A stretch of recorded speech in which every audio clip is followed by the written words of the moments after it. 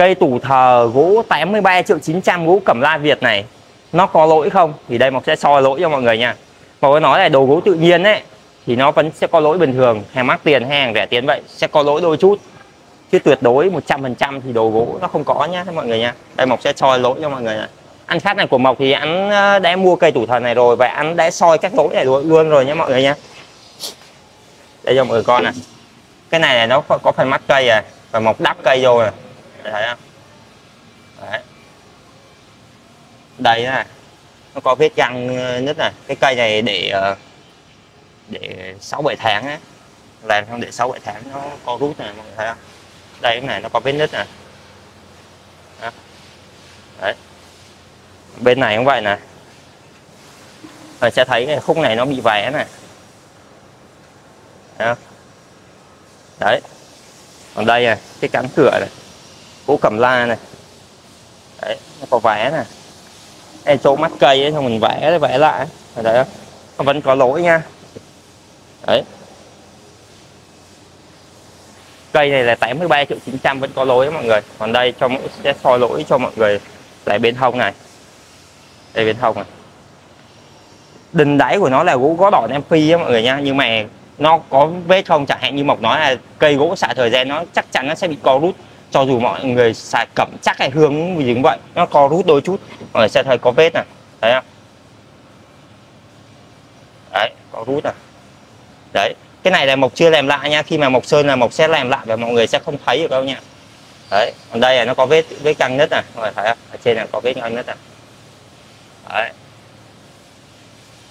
Khi mà mộc làm thì mộc sẽ làm cưa lại và mộc uh, chém lại và mộc sơn nha.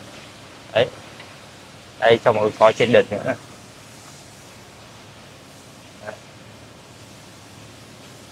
Soi soi cho mọi người soi.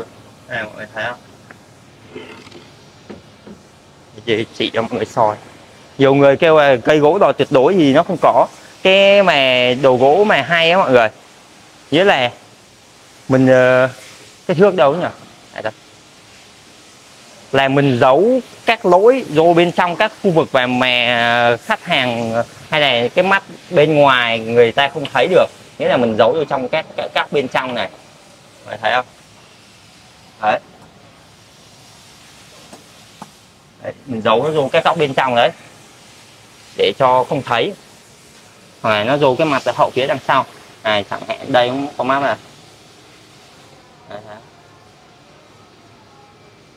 em thấy đây nè đấy. đấy tủ này là 83 triệu 900 rồi nha mọi người nha. Đấy. nhiều khách hàng kêu, kêu ghé một kêu mua ghế 5 6 triệu 6 7 triệu mà kêu về đòi tuyệt đối không có lỗi. Nhưng mà cứ hay cười một kêu thôi anh chị tìm đến đơn vị sở khác, chứ bên em thì cũng không có có. Thực sự không phải là mọi người mua hàng rẻ tiền mà, hay là những mọi người có những khách hàng người ta đặt mộc những bộ về trăm mấy chục triệu hay hai trăm triệu. Mà tới mà đòi cây tuyệt đối lỗi, không có lỗi gì ấy, thì mộc cũng không có nhận. Đấy, mộc không không có nhận nha mọi người.